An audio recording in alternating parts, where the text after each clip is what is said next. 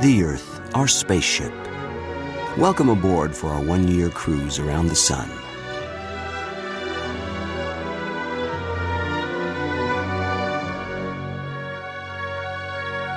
Yes, we do revolve around the Sun, but not on a circle, on an ellipse. And it's now, during the first days of January, that we're closest to the Sun. So, why is the weather so cold?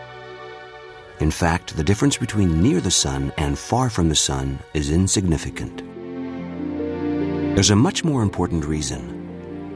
The Earth doesn't spin straight, but slightly askew.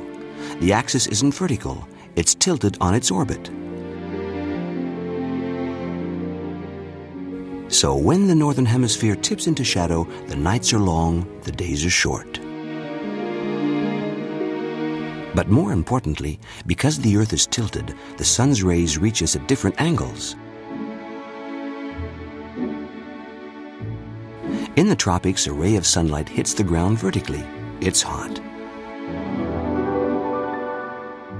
But the same ray in the northern hemisphere arrives at an angle. Its energy is spread over a surface three times greater, providing three times less heat.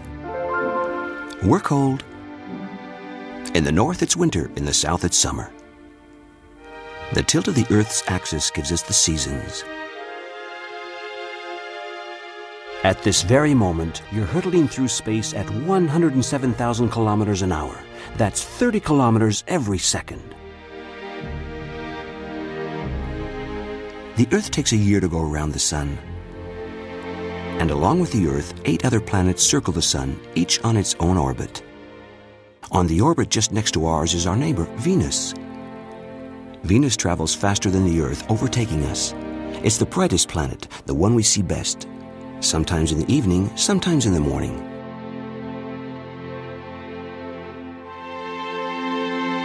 Why in the morning? We see Venus to the right of the Sun.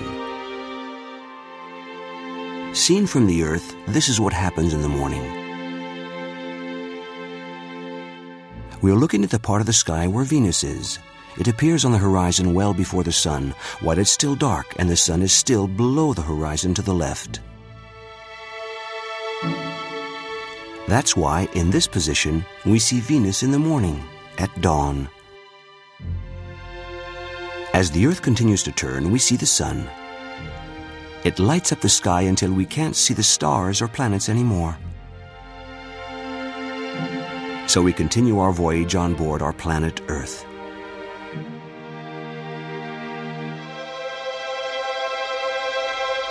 On the next orbit to the left, the Earth has a faster moving neighbor, traveling at 125,000 kilometers per hour and overtaking us. This is Venus. We call it the morning star, but it's not a star, it's a planet. What's the difference between a planet and a star? They look the same.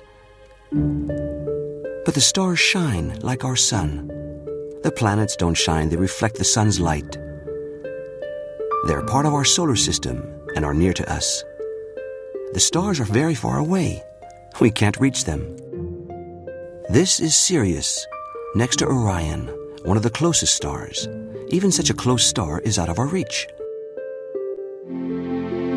If our spaceship Earth left its orbit and headed out of the solar system towards Sirius at its normal cruising speed, we'd take 80,000 years to get there. While at the same pace, we'd reach Venus in just 16 days. 80,000 years for Sirius, 16 days for Venus.